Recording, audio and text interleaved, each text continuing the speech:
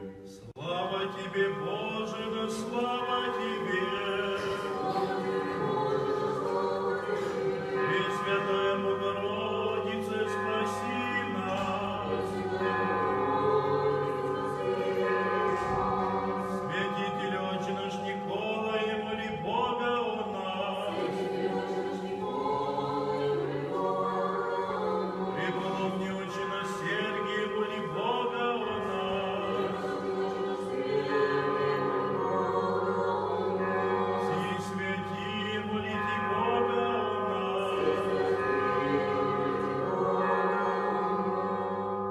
Во имя Отца и Сына и Святого Духа. Аминь. 29 декабря. Житие преподобного отца нашего Маркела, игумена обители неусыпающих. Преподобный Маркел был родом из сирского города Апамея и происходил из славного и богатого христианского семейства. В юных летах, лишившись родителей, он пошел в Великую Антиохию, чтобы обучиться там различным наукам, которыми он в скором времени вполне овладел, и тогда возгорелся желанием приобретения также и внутренней, духовной мудрости. Для этого Маркел решил отправиться в Ефес, где, как он слышал, было множество мужей, совершенных в добродетели. Выйдя из Антиохии, он прежде всего раздал нищим все богатое отцовское наследие, которым владел в Апамее, и, презрев таким образом все мирское, вскоре достиг Ефеса. Поселившись здесь у одного благочестивого человека, он начал подвязаться в добродетели под руководством некоего промота, достигшего высокого духовного совершенства, высшего. И блаженный Маркел получал великую духовную пользу, взирая на добродетельное житие его и других святых мужей ефесских. Как бы сплетая себе венец из различных цветов, он поучался различным добродетелям, имея перед собой различные образы Бога угодного жития. Живя в добровольной нищете, он трудом рук своих приобретал потребное для тела. Умея красиво писать, он все ночи проводил в молитве, а дни в переписывании книг. Эти книги он продавал по справедливой цене и часть денег употреблял на свои нужды, а остальное раздавал нищим. Таково было начало его добродетельного жития. Услышав затем, что в Византии живет некий Авва Александр, премудрый и великий в деле и в слове, способный многих привести к спасению, Маркел покинул Ефес и поспешил к нему. В то время святой Александр пребывал с братьями своей при церкви святого Мины. Впоследствии же он построил на морском берегу знаменитый монастырь, в котором ввел новый устав, повелевавший днем и ночью славить Бога непрестанным псалмопением. Братья пели в церкви, сменяясь по часам. Придя в Византию, Маркел познакомился с одним иноком этой обители по имени Иаковом, который привел его к Авве Александру.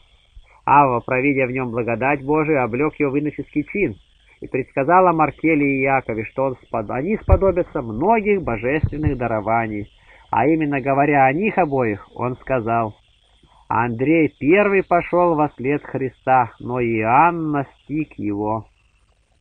Андреем он назвал Якова, а Иоанном Маркела, ибо видел, что оба одинаково горели духом к Богу, если Яков, подобно апостолу Андрею, первый взял на себя иго Христова, то Маркел, подобно апостолу Иоанну, превзошел его многими дарованиями. А Маркел был воистину подобен святому Иоанну, девственнику и богослову, своим непорочным девством и богодухновенной премудростью.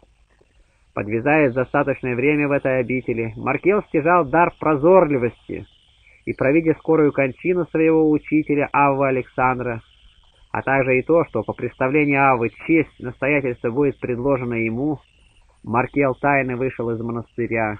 Будучи еще юным, он не захотел властвовать над старыми и иметь подначальных себе.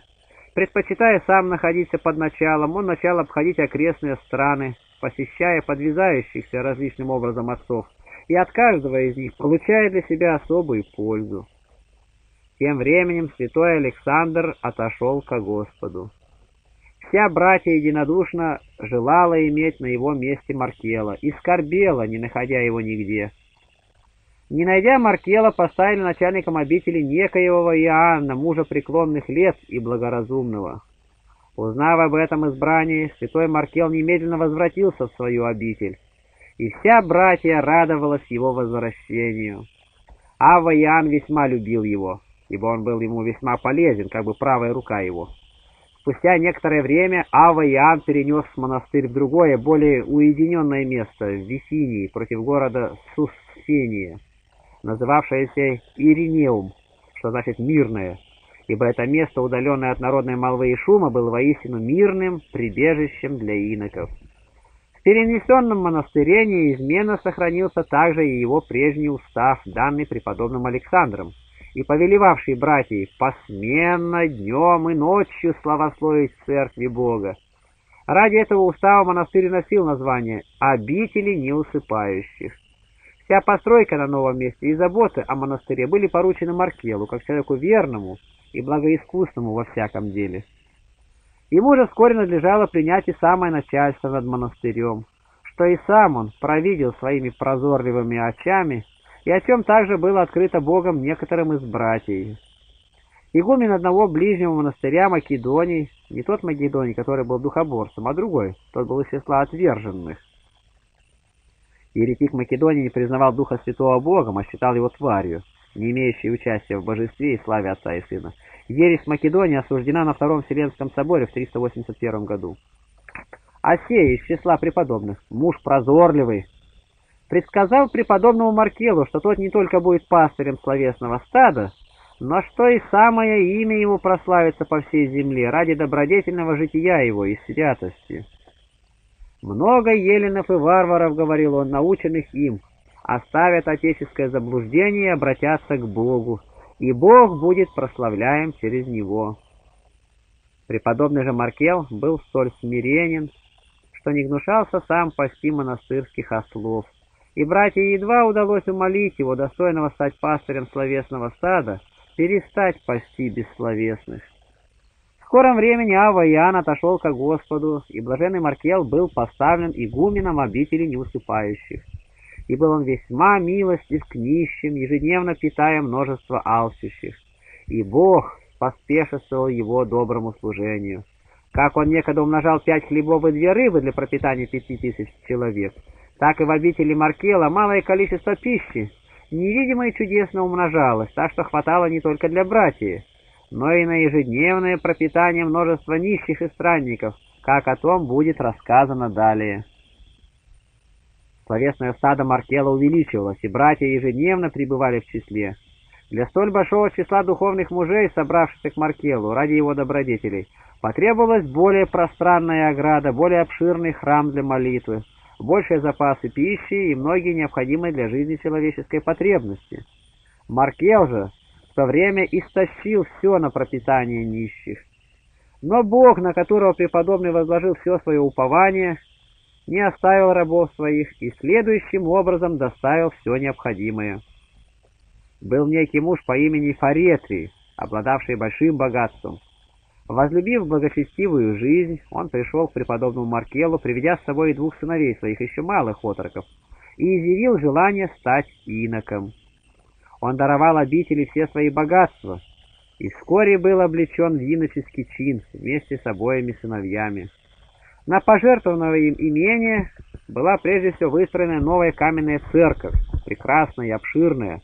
Затем была перестроена вся ограда монастырская и воздвигнуто множество новых келей, а ветхие келии были обновлены. Кроме того, была устроена больница, а также странноприимный дом, и было закончено постройкой все необходимое. Пища, одежда и прочие потребности были приобретены для монастыря также на средства, пожертвованные фаретрием.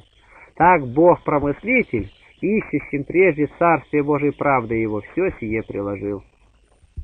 Слава о преподобном Маркеле и об установленном в его обители непрестанном славословии распространялась повсюду. Многие соревновали этому уставу и вводили его в своих монастырях, и спрашивая себе наставников у преподобного. И как реки истекали из Эдема, так из обители Маркела расходились по всем монастырям, расположенным в разных странах и городах, уставы и обычаи иноческого жития и непрестанного церковного пения. Во всяком монастыре игуменами были иноки из обители Маркела, и везде соблюдался чин обители неусыпающих. и Маркел был чиноначальником, архимандритом, законодавцем и управителем всех монастырей, какие только были в той стране. И многие из греков и варваров обращались к истинному Богу по наставлению Маркела, согласно пророчеству, упомянутого выше прозорливого Македония. Так лики земных ангелов, день и ночь славословящих Бога все более и более умножались. Надлежит теперь поведать о чудесах преподобного Маркела. Некие три епископа были взяты в плен варварами. Освободившись из плена, они возвращались домой. Но так как путь их пролегал мимо обители преподобного Маркела, то они свернули с дороги и зашли к нему. Он с любовью принял и успокоил их, упокоил, и когда они собрались в обратный путь, то пожелал дать им что-либо на дорогу, как людям весьма бедным. Призвав эконома по имени Иулиана, преподобный спросил, сколько у него в хранительнице денег в хранилище. «Десять серебряников», — ответил тот. Тогда Маркел повелел отдать все деньги тем трем епископам, но эконом пошел и дал каждому только по одному серебрянику, а прочие удержал на нужде монастыря. Духом провидя это, святой призвал эконома и велел ему непременно отдать епископам и прочие серебряники. Тогда эконом дал им еще по два, и, истратив таким образом девять, все-таки удержал десятый. И это он сделал ради нищих, ежедневно приходивших в монастырь. После этого один благочестивый человек, побуждаемый духом, пришел к преподобному и дал ему на нужды монастыря 90 талантов золота. Талант равнялся приблизительно полторы тысячи рублям. Тогда преподобный Маркел призвал эконома Иулиана и с гневом начал обличать его скупость. «Вот Бог хотел нам послать рукой этого благочестивого человека сто талантов, но так как ты удержал один серебряник, прислушав мое повеление, то наш общий промыслитель, хотевший воздать нам старицы, лишил нас девяти талантов. Один серебряник равнялся двадцати двум копейкам. Пристыженный эконом упал к его ногам, прося прощения. Преподобный обладал также благодатью подавать исцеление болящим. Он исцелил одним прикосновением монаха Илпидия, имевшего во рту болезненную опухоль. Также урачевал он своим прикосновением монаха Стефана, страдавшего сильной желудочной болезнью. Так что никакое лечение не помогало ему, и он уже отчаялся в своей жизни. Святой исцелил его, дотронувшись до чрева и хребта его. Когда разболелся вышеупомянутый эконом Иулиан и уже был близок к смерти, преподобный подал ему двойное врачество, душевное и телесное. Он сперва научил его не приступать по велению игумена и не уповать на временное богатство, а полагаться на Бога равно о всех заботящегося, и таким образом, исправив его душу, он исцелил его и от телесной болезни. Надлежит поведать и о еще более чудесном событии. Один еврей страдал неизлечимой болезнью, он имел на теле своем смрадные язвы. Когда оказалось тщетным уже все искусство врачей, и больной отчаялся в излечении, тогда он прибег к преподобному Маркелу, всему скорому и бескорыстному целителю, как своей последней надежде. Преподобный спросил еврея о вере, и когда узнал о его злочестии, то сказал, что ему невозможно получить исцеление, если он раньше не отступит от своего нечестия и не примет христианской веры. Еврей обещался, что тотчас же обратится ко Христу, как только получит исцеление. Преклонившись к его мольбе, старец исцелил своей молитвой болящего, и исцеленный немедленно принял веру христианскую. Но не прошло еще и четырех дней, как еврей снова вернулся к своему нечестию. Возвратилась к нему также и его прежняя болезнь. Как за верой последовало исцеление, так и за отступничеством его прежняя болезнь. Принужденный, хотя и против воли, снова прибегнуть к святому. Он опять отрекся от своего нечестия, присоединился к благочестию и преклонял на милость незлобивого отца. Получив исцеление в другой раз, он по истечении немногих дней вновь, как свинья, в кал тинный пошел, и опять постигла его еще более жестокая болезнь. Что же сделал нечестивец? Он снова бесстыдно прибегает к святому. И так повторялось несколько раз. Наконец преподобный сказал ему, «Знай, человече, что не меня ты обманываешь, а Христа, ибо не я исцеляю тебя, но Христос. И ты не можешь утаить перед его всевидящим оком нечестие твоего сердца. почитая его устами, а сердцем далеко отстоя от него. На словах исповедуя благочестие, а на деле уклоняясь к своему прежнему злочестию. Без всякого лукавства обратись всем сердцем ко Христу, и ты тотчас же исцелишься, и не только телом, но и душою. Но нечестивый несмысленный еврей ответил святому, «Что бы мне не пришлось терпеть, никогда не оставлю веру отцов». Услышав эти слова, преподобный молча ушел от него. А еврей, немного отойдя от обители, внезапно упал и стал мертв как телом, так и душой. Узнав об этом, святой отец плакал и сказал, «Не искушай Господа Бога твоего».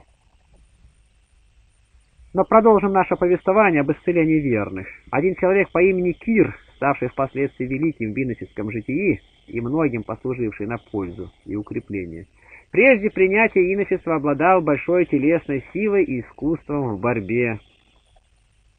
Неожиданно попущением Божьим дьявол поразил его с ног до головы гнойной болезнью, как некогда Ева, и сгнила на нем не только вся кожа, но и плоть и жилы, так что видны были одни обнаженные кости. Как велики были страдания этого человека, нельзя даже и описать. И невозможно было ему излечиться никакими врачествами человеческими, но только божественными, подателем которых и был святой Маркел. Когда больной припал к нему со слезами, моля об исцелении, блаженный тотчас же воздел к небу руки и по обычаю сотворил усердную молитву о болящем. Прикоснувшись затем рукой к его язвам, он сказал, «О, добрый человек! Не подобает этим страданиям одолеть тебя, и не приличествует борющимся с невидимыми врагами иметь попечение о теле. Уповай, если изберешь Вышнего прибежищем твоим, то удалится эта язва из храмины тела твоего. Так говорил святой, и болезнь немедленно оставила того человека. Язвы стали покрываться плотью, видимо, для всех, подобно тому, как описывается это в пророчестве Иезекииля. Жилы исправлялись, суставы укреплялись и покрывались кожей. И Кир, сверх всякого ожидания, быстро выздоровел и подавал угодник Божий по благодати, данной ему от Бога, чудесное исцеление не только тем, до коих прикасался своими руками, но даже и далеко отстоявшим от него. Супруге некоего диакона Евгения настало время родов, но она не могла родить. И ни врачи, ни повивальные бабки не могли оказать ей помощи. Уже все отчаялись в ее жизни, и она лежала без сознания. Тогда муж ее, диакон Евгений, припал к стопам преподобного и со слезами стал умолять его о помощи. Преподобный помолился. И, благословив хлеб, дал его диакону, чтобы тот поскорее положил на грудь болящей. И как только это было исполнено, жена родила младенца и освободилась от страдания. Придя в себя, она стала спрашивать, «Где инок, разрешивший мои страдания?» где освободивший меня от смерти? На вопрос же, кто тот инок, о котором она говорит, и каков он лицом? Женщина описала внешний облик явившегося ему инока, и все узнали, что это был преподобный Маркел, который явился ей и избавил ее от смерти.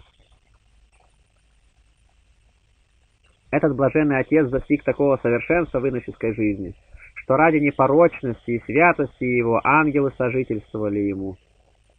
Игумен одного монастыря, расположенного при реке Ефрате, Сергий, много слышав о преподобном, пришел, чтобы увидеть его, и увидел несравненно больше того, чем ему рассказывали о Маркеле. Однажды они стояли вместе на молитве.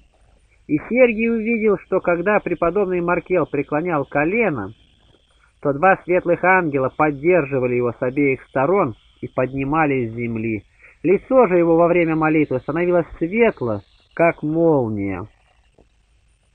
Увидев это, Сергий затрепетал от страха, и душа его едва не покинула тело от ужаса. И другим великим отцам Бог также давал откровение об угоднике своем Маркелле. Елисей, игумен Десского монастыря, желал увидеть святого и узнать о его житии. Когда он молился об этом Богу, то Господь явил ему в видении Маркела таким, каков он был по своему внешнему виду, и открыл ему высоту его добродетелей. Об этом Елисей впоследствии рассказывал ученику святого Маркела Петру, случайно находившемуся у него. Гавдиолу, игумену монастыря, расположенного в городе Помпеи, при море Евксинском, теперь Черное море, было открыто, что Маркелу дана от Бога благодать, равная с законодавцем Моисеем. Гавдиол засвидетельствовал об этом в Паласте ученику Маркела. Поистине, преподобный обладал даром пророчества, ибо что он кому-нибудь прорекал, то всегда избывалось.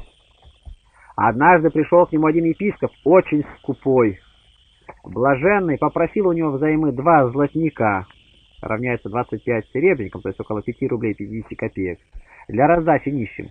Но епископ отказал ему и не дал, сказавши, что не имеет сам.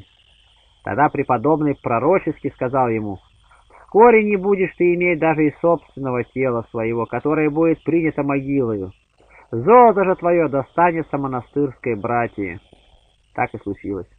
Не прошло и двух дней, как епископ умер, а имущество его было отдано в обитель преподобного согласно его пророчеству.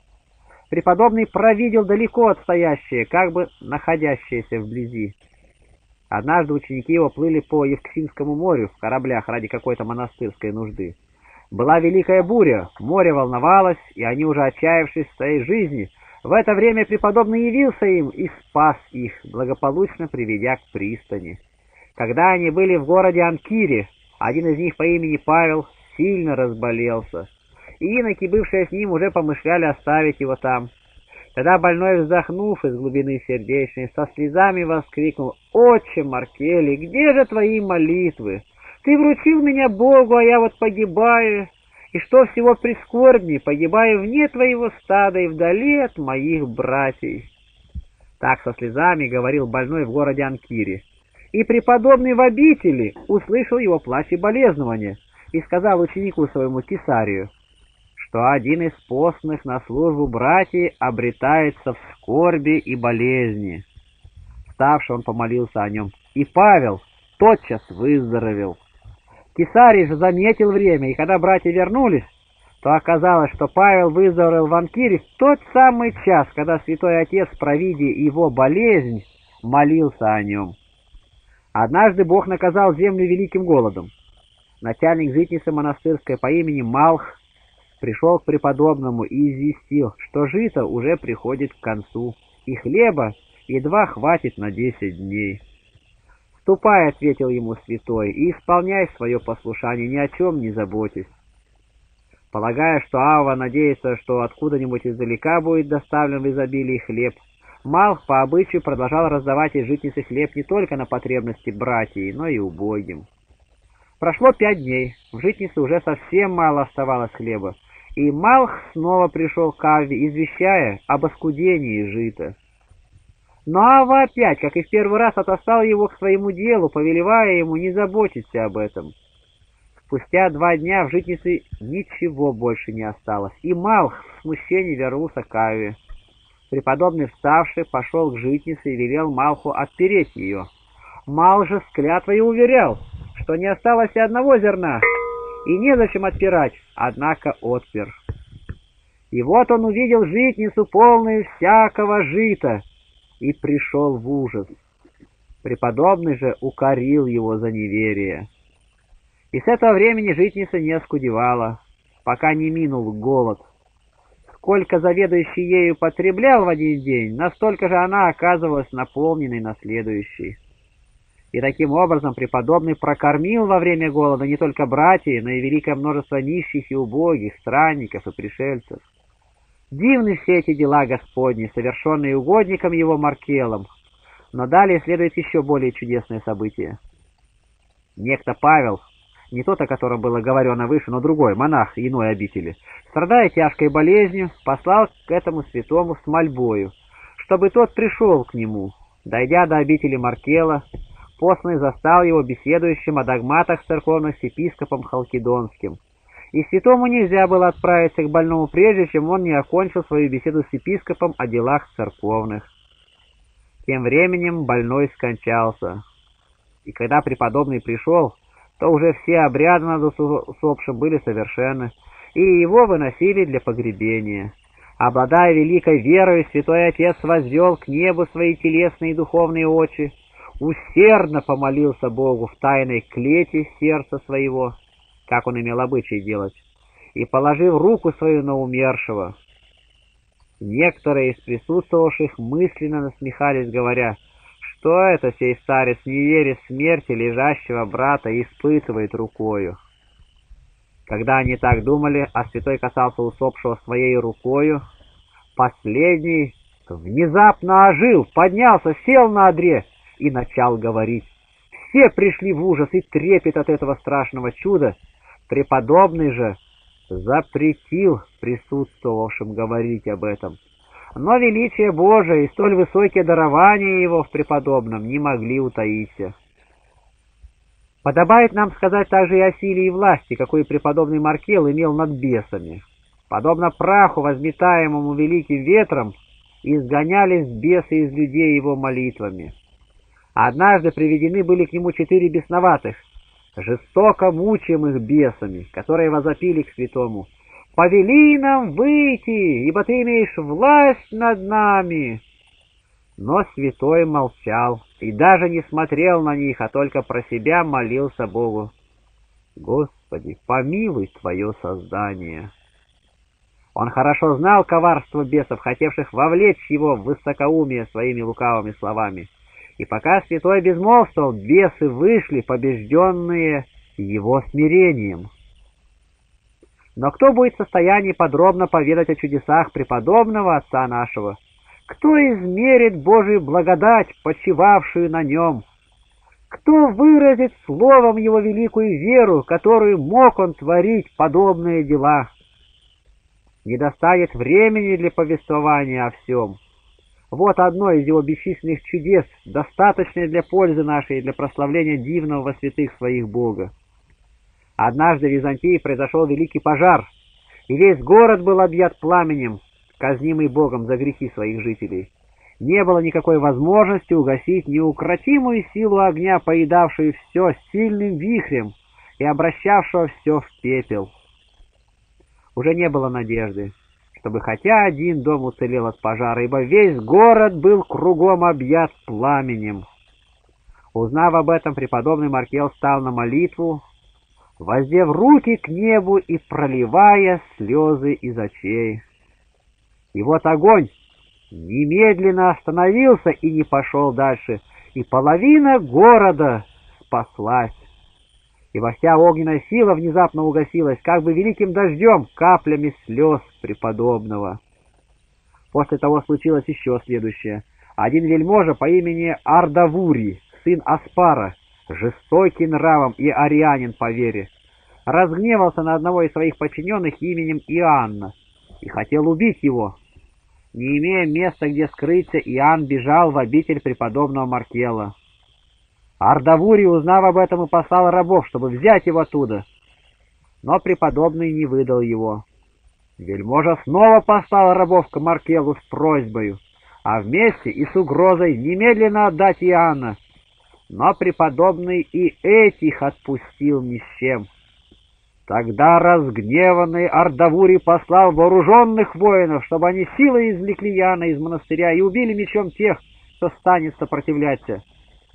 И вот когда воины с обнаженным оружием обступили кругом обители и намеревались овладеть оградой, братья пришли к святому и с плачем умоляли его выдать Иоанна воинам, дабы из-за него и они не погибли неповинно. Но преподобный не послушал братьев, ибо был весьма милосерд и не хотел выдать на смерть человека неповинного, и обратился к оружию духовному, к силе честного креста, оградившись которым — он сам вышел навстречу воинам. И тотчас же великий страх напал на всех воинов. Они узрели крест, сиявший как солнце, а вокруг него великое пламя, молнии и громы. Побросавшие оружие, они в ужасе бежали к пославшему их.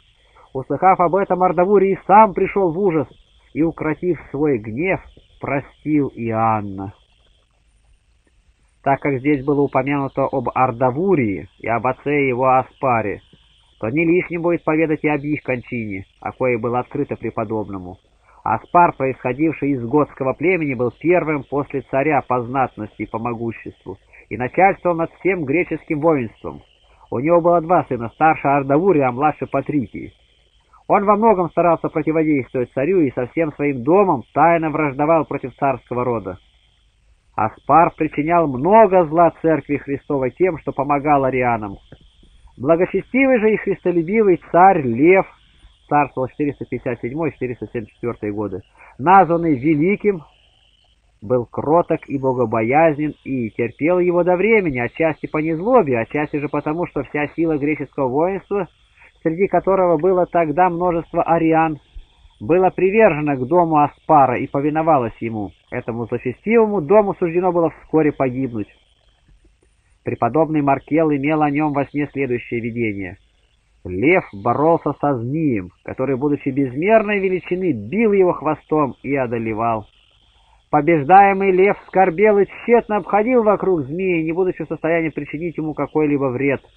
Затем оба левые змеи легли отдохнуть, утомленные борьбой. Спустя немного времени лев отдохнул и, собравшись силами, внезапно, как бы пробудившись от сна, устремился на змея с великой яростью и победил его ударе по землю.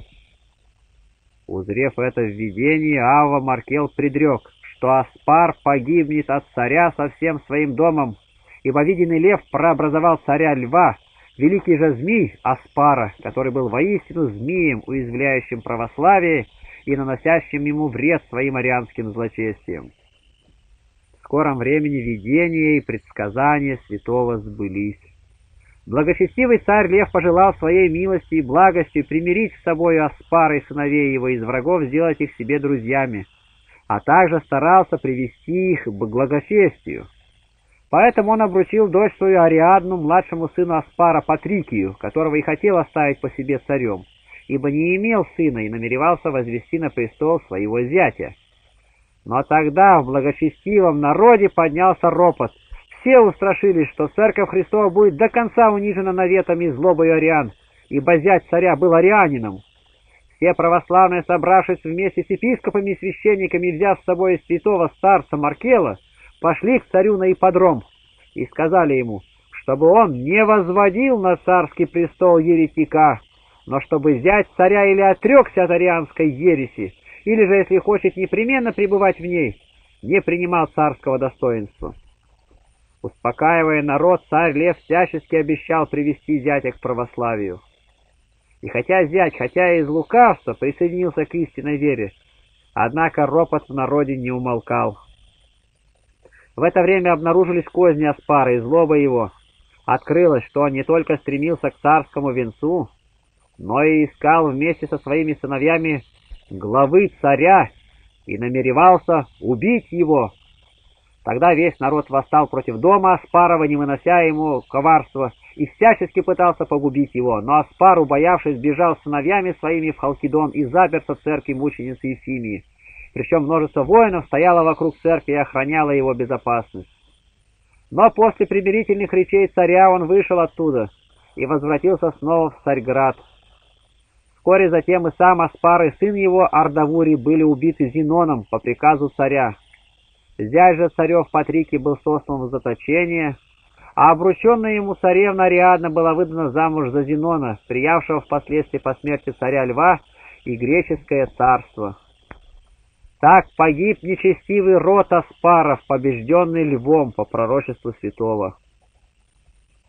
Но возвратимся опять к преподобному Маркелу. Когда народ со святителями и с пресвитерами, а также и с преподобным Маркелом шел к царю Льву на ипподром, то многие из верующих удостоились видеть, как ангел Божий в образе прекрасного юноша, облеченного в белую одежду и припоясанного золотым поясом, сопровождал святого Маркела и поддерживал его под руку. Видели же это во все то время, когда он шел с народом и когда возвращался назад вплоть до дверей своего жилища. Доведя его до дверей, ангел стал невидим. Отсюда яствует, сколь любим был Богом блаженный отец наш Маркел, ибо он посылал ангелов своих для служения Маркелу, чтобы водить и охранять его в пути. и сбывались на нем слова Писания. Ангелом своим заповедует о тебе охранять тебя на всех путях твоих, на руках понесут тебя, да не приткнешься камень ногою твоею. Шестьдесят лет прожив в иноческом подвиге, преподобный Маркел приблизился, наконец, к блаженной кончине своей. И сравнялся он с пророками прозорливостью, с патриархами верою и несомненным упованием на Бога, с мучениками повседневным умершлением тела. Он уподобился боговедением пророку Моисею, которому был равен и благодатью, кротостью Давиду, ревностью по вере апостолу Павлу, девством и богословием Иоанну, благодатью же исцелений всем апостолам, ибо он был для всех источником исцелений и рекою чудесных благотворений.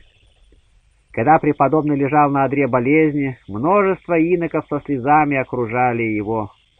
В числе их был некто именем Лукиан, знатного происхождения, презревший все мирское, вступивший на путь иночества и более иных преуспевший в добродетельном житии.